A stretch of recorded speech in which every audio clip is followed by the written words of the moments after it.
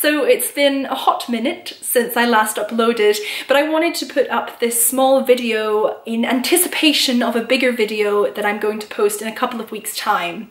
So over the years of studying at RCS and the Sibelius and RCM, I've received many emails during the audition period from people who are wanting to audition and who need advice, they have specific questions, or they're just curious about the whole process. So I thought it would be quite fun to pick all of those questions and to put them in a video for you all to see.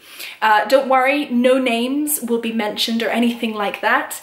But I thought I would put up this little video asking you if you had any questions, any queries, anything new, anything you want to know. It's audition season, I'm auditioning, you're auditioning, and I hopefully will be able to put them with those questions I've picked from my emails into a video entitled frequently asked questions about the audition period or something along those lines.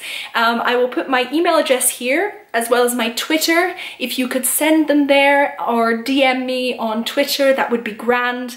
And hopefully I'll have enough to make a really, really nice video and possibly even a part two, who knows? Anyway, I'm really looking forward to making something nice for you all and it's very good to be back. Sending you much love and see you all very soon. Mwah!